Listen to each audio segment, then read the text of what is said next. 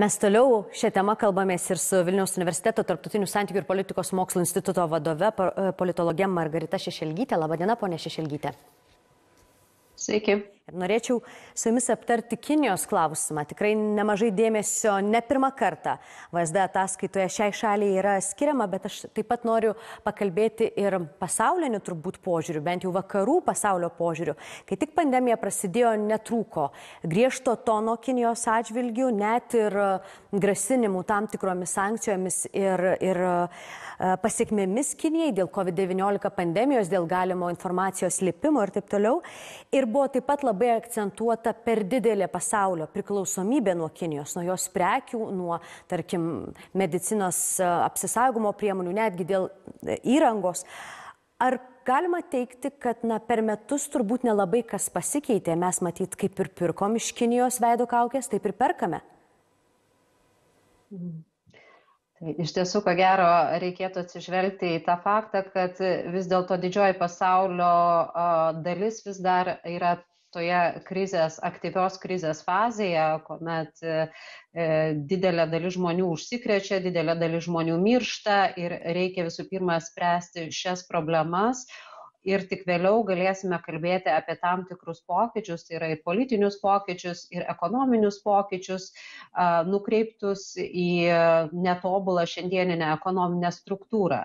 ES svarsto peržiūrėti savo priekybą su užsienio šalimis, ES taip pat e, bando peržiūrėti ir tas paslaugų grandinės, taip pat ir yra idėja vėlgi kartu su Junktinėm Amerikos valstijom šioje pasikeitus administracijai ir susidarius palankiom sąlygoms imtis ir tam tikrų prekybos reformų, tai yra reformuoti pasaulio prekybos organizaciją, tai man atrodo kad tokių aktyvesnių veiksmų susietų su ekonomikos peržiūra sulauksime tarptautinės ekonomikos peržiūra reguliavimo peržiūra sulauksime kai išsispręs pirminė problema. O kaltinimai kinijai ta viena vertus tai buvo susiję ir su trampo administracija ir su tokia gyvavusia pusiau sąmokslo teorija pusiau teorija kur šiek tiek ir suneraminusi buvo jungtinių amerikos valstijų žvalgybos institucijas. Tai yra įtarimais, kad galbūt šis virusas galėjo pabėgti iš Kinijos laboratorijų, iš Wuhano e, virologijos instituto tačiau pasaulio sveikatos organizacijos misija kuri vyko būtent tame regione vasario mėnesį aiškiai pasakė kad tokių prielaidų daryti negalima nes tai yra visiškai kitos kilmės virusas ir galbūt net šaknys to viruso yra ir ne pačiam vuhane bet žiūrima į platesnį regioną į pietryčių aziją. Tai toks kaltinimas kinijai kad iš jos tas virusas pabėgo ko gero jisai kaip ir atmestas o dėl kitų veiksmų ko gero bus imamasi rimtesnių priemonių kai pavyks suvaldyti jau tą pirminę sveikatos krizę Ar matote Lietuvoje, vėlgi pasikartosiu, nebe pirmi metai, kai valstybės saugumo departamentas Kiniją įvardyja kaip vieną grėsmių nacionaliniam saugumui, ar matote Lietuvos politikų viešojoje erdvėje, taip pat ir priekybinėje erdvėje matyti pokyčių ir požiūrių skirtumų Kinijos atžvilgiu? Na iš tiesų suvokimas kinijos kaip grėsmės keitėsi lietuvoje ir tiek ir valstybės saugumo departamento ir antrojo tyrimų departamento ataskaitose ši grėsmė atsiranda pakankamai neseniai kaip įvardijama kaip rimta grėsmė, tai na, rodo tai, kad mūsų visuomenė ir mūsų politinis elitas, ko gero, šiai šaliai kaip grėsmiai neskyrė pakankamai dėmesio anksčiau, nes na, mūsų tą grėsmių vertinimą tikrai buvo užgožusi grėsmė iš Rusijos, kuri dar paskutiniaisiais metais tikrai yra suagresyvėjusi mūsų atžvilgiu. Tai ko gero tai buvo natūralu. Kinija yra grėsmė ir galbūt grėsmė veikiau, sakyčiau, tokiu globalesniu mastu nei mums tiesiogiai, nes tokių poveikio šaltinių, poveikio galimybių Kinė Lietuvoje turi pakankamai mažai. Tai viena vertus ir diasporos nėra, ir tų studentų kinų mažai yra.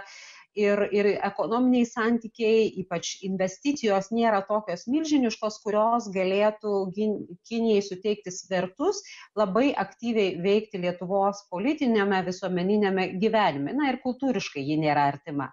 Tačiau vis dėlto, ką, į ką mes turime atkreipti dėmesį. Ai, ir dar vienas svarbus dalykas, kurį norėjau paminėti, kad mes ko gero turime tam tikrą suvokimą pavojingų investicijų ir tai yra su Rusijos investicijų vertinimu.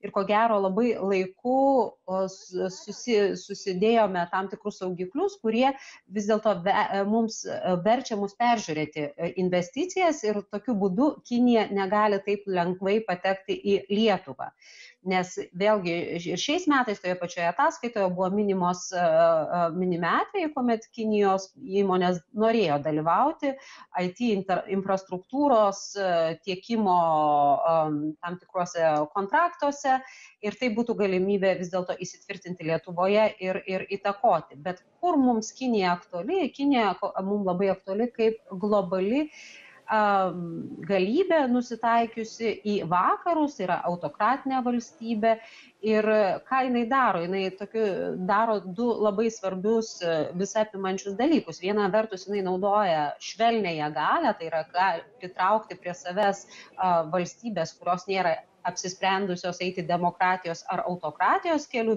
besivystančios valstybės, užsimdama tiek kaukių diplomatiją, tiek vakcinų diplomatiją, tiek šiaip siūlydama Kinijos modelį kaip tinkamą modelį valdyti tokiamis, tokioms krizėms.